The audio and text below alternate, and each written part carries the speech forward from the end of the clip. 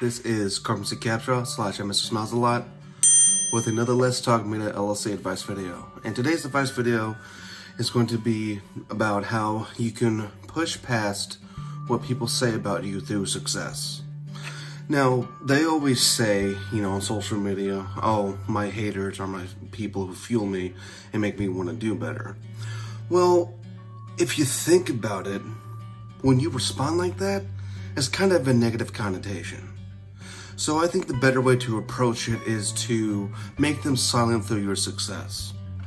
What I mean by that is, an example for me, when I was getting bullied growing up, you know, all of them said you're not going to become anything, you're not smart, you're bad at math, you get all the answers from the counselors because you take all your tests, you know, in the counselor's area because you're too dumb to learn, you're not gonna, you're not going to amount to anything, you know, you're always going to have help and things of that nature, and really trying to bring me down as a person, right?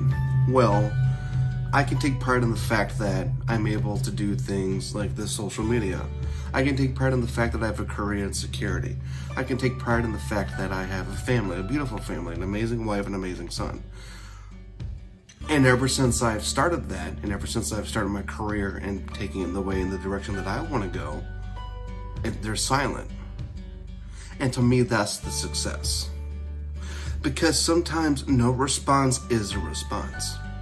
I could have been one of those people. I could have been one of those guys that says on social media or one of my Facebook posts, oh, you guys are wrong about me. I'm going to prove you're wrong. Well, watch this. Look at me. Look at what I'm going to be doing. Look at this, that, this, that, this, that.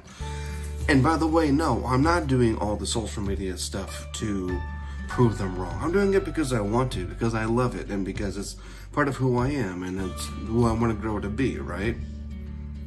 But I will say this though. If they were to say anything to me now, they can't really back up themselves much because of the success that I do have in what I'm doing right now. Do you get what I'm saying? It took me a long time to get this comfortable on camera. It took me this a very long time to get as well at editing as I am. It took me a very long time to learn how to be a father. It took me a very long, long time to learn how to be a good husband. It took me a very long time how to, you know, pay for my own house, really getting my bills together, how to be an adult, right? And that's where I can take that success in saying, you know what, no matter what they said about me in the past, they're wrong because of where I am and who I am today. Now, I'm not bragging, and I'm not saying I'm better than them, right? By any means necessary. But what I'm saying is, again, and I know I said it earlier in the video, I can take pride in the fact that they're silent because of what I've done so far with my life. So what I'm getting at, basically my advice is, no matter who's trying to bring you down, no matter who's mean to you, no matter who's bullying you, no matter who is trying to verbally abuse you and make you feel like you're less worth than who you are, or if they're trying to belittle you, Easier said than done, but don't respond. Respond with success. Respond with showing them, hey, guess what? Look at me now versus what you said I was going to be. And I promise you, they're going to be like this. Because they'll have nothing to say. Because they'll be wrong in their own way. And, and you know, they might apologize, they might not. You know, but let me put it this way uh, forgive them because you don't know what they're going through at home. You don't know why they're being mean. You don't know what's making them bully you. You don't know what's making them bring you down.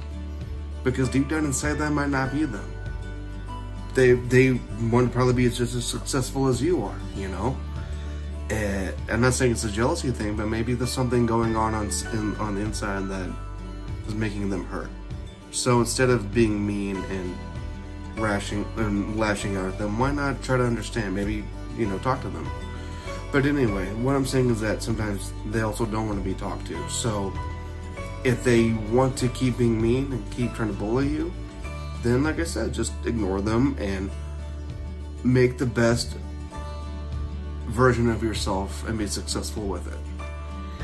And remember, that'll make them be quiet. And don't do it for revenge. Don't do it to make them be quiet out of your own volition because then you are stooping to their level.